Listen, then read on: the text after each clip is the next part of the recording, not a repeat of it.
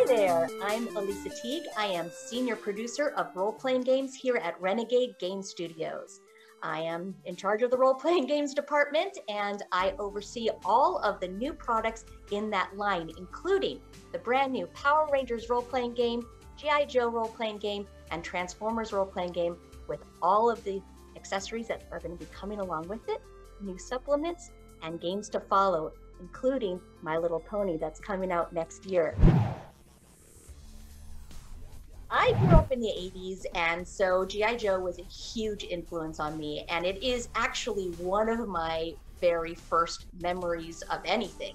I think that watching cartoons uh, with my little brother and then getting all of the toys was such a big part of my childhood and of my life before I was ever introduced to, you know, miniatures games or role playing games or anything like that. Our first minis game, we would set up these battles together and play and actually take turns in combat and role play. And we didn't even know we were doing it. So I feel like G.I. Joe, just as a concept, you know, was such a huge part of how I grew up, how I played, how I learned, you know, pretty much everything that I value as as a real value because of those early cartoons when I was, you know, seven years old. I think that G.I. Joe impacted my life a lot because it not only served as a foundation and bonding time for my family, for you know myself and my brother to really learn how to work together as a team, but also when watching the cartoons, you know, they always had all of the you know spots at the end where it would teach you something, and I I know that a lot of people look back on those and laugh at them. I know that there's a whole series of, you know, parodies about them.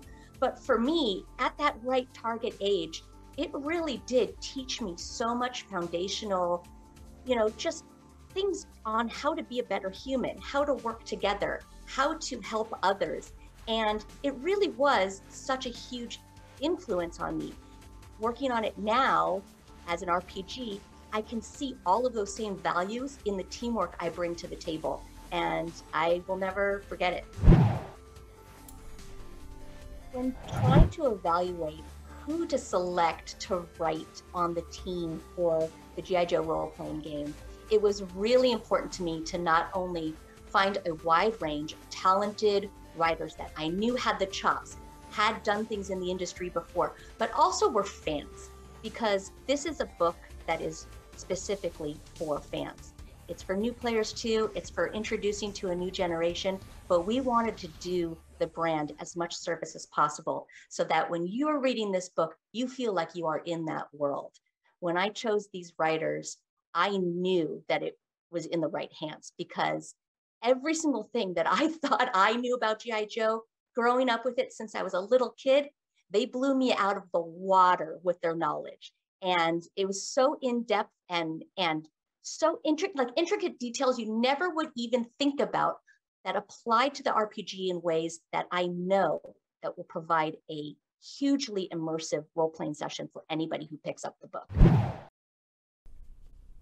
Diversity and inclusion was a goal in all of the rpgs for the essence 20 system but especially for gi joe from the very get-go we knew that coming into this, not only are there a lot of different races and cultures that are already um, shown in G.I. Joe, but there are also some problematic histories that happened when, you know, something comes from the 1980s.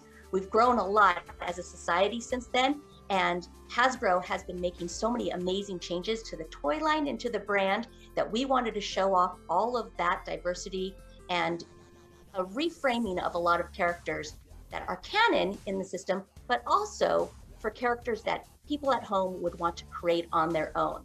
So, from the very first steps of character creation, you have such a huge choice of what you can create so that you can make unique characters that feel real, that represent anything that you want to.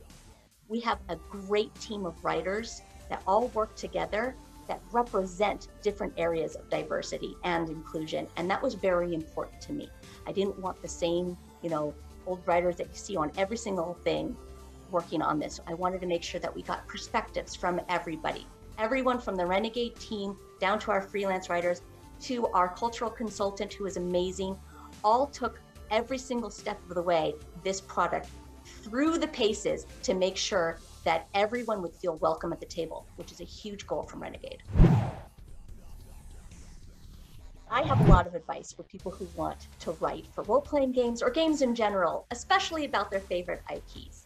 If there's something that you love and you're passionate about, and you find out that a company like ours or any other company has that IP, put yourself out there, show off your knowledge, but also make sure that you have enough work in your back catalog to show off what you can do. If you're a brand new writer, that's okay. Show off what you can do by creating adventures for other systems, or turning in sample material.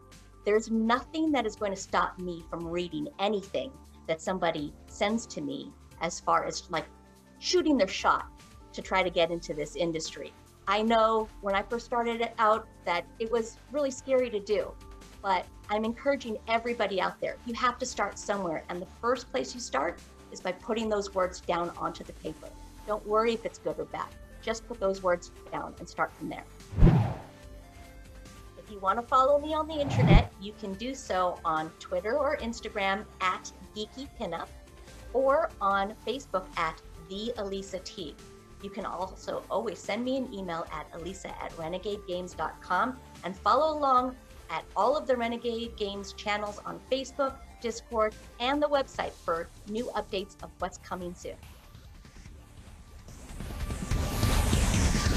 Yeah, yeah, yeah,